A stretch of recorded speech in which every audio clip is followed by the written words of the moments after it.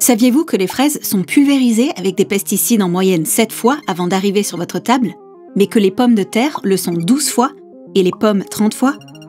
Cette pratique laisse des résidus dans nos aliments, nuit à la santé des agriculteurs et accélère la perte de biodiversité à l'échelle mondiale. C'est pourquoi l'Union européenne souhaite, par voie législative, réduire de moitié les risques et l'utilisation des pesticides d'ici à 2030. C'est une bonne chose. Ce qui n'est pas bon, c'est la méthode utilisée pour mesurer cet objectif.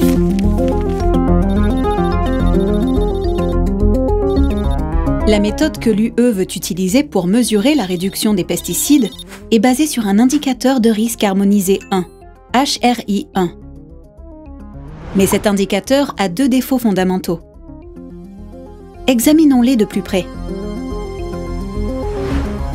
Le HRI1 est basé sur les données de vente d'environ 400 substances actives de pesticides.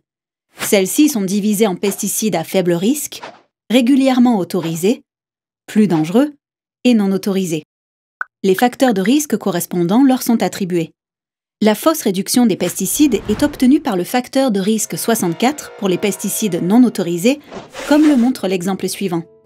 Dans un État membre de l'UE, 15 tonnes de pesticides à faible risque 9000 tonnes de pesticides normalement autorisés et 700 tonnes de pesticides particulièrement dangereux ont été vendues en 2020.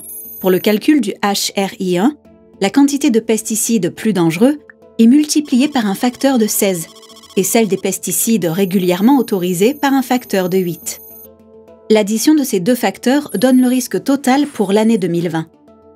Il s'agit de notre point de départ, et il est donc fixé à 100%. L'année suivante, nous ne constatons aucun changement dans l'utilisation des pesticides. Le HRI1 reste le même. Toutefois, à la fin de l'année, une interdiction du mancozeb entre en vigueur, un pesticide qui représentait auparavant environ 20% des pesticides vendus. L'année suivante, le mancozeb est remplacé par d'autres substances comparables. Une fois encore, l'utilisation globale des pesticides ne change pas. Ce qui change en revanche, c'est la classification des risques du mancozeb. En tant que pesticide non autorisé, il est désormais multiplié par un facteur de risque de 64, et ce rétroactivement. Selon HRI1, l'État membre a donc réduit l'utilisation et le risque des pesticides de 60%. Une réduction sur le papier seulement, sans avoir réduit l'utilisation des pesticides dans les champs. Passons maintenant à la deuxième faille, qui n'est pas moins problématique. Comparons deux vergers de pommiers tous deux ont une superficie d'un hectare et sont infestés de travelures. Sur l'un d'eux, on utilise de la levure chimique, un pesticide à faible risque. Sur l'autre, on utilise du diphénoconazole, un pesticide plus dangereux. Les deux pesticides sont radicalement différents dans leur application. Pour traiter un hectare de terre, il faut 7,5 kg de levure chimique, mais seulement 56 g de diphénoconazole, un pesticide particulièrement dangereux. Une différence d'un facteur 134.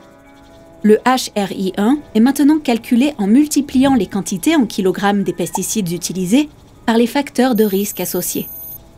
Ce faisant, le HRI calcule un risque 8 fois plus élevé pour l'utilisation du pesticide désigné à faible risque que pour le pesticide particulièrement dangereux. L'industrie européenne des pesticides est satisfaite de la HRI1. Elle le considère comme un moyen raisonnable de mesurer la réduction des risques liés aux pesticides. Toutefois, en tant que décideur politique responsable, vous ne devriez pas soutenir un tel indicateur pour contrôler des objectifs de réduction juridiquement contraignants. Heureusement, ces faiblesses peuvent être facilement corrigées. Si l'augmentation rétroactive du risque par un facteur de 64 est supprimée, il n'y aura pas non plus de fausse réduction des pesticides. Pour mieux représenter les risques réels, nous devons tenir compte de la superficie traitée. Pour ce faire, il faut diviser le volume des ventes par un taux d'application moyen à l'hectare.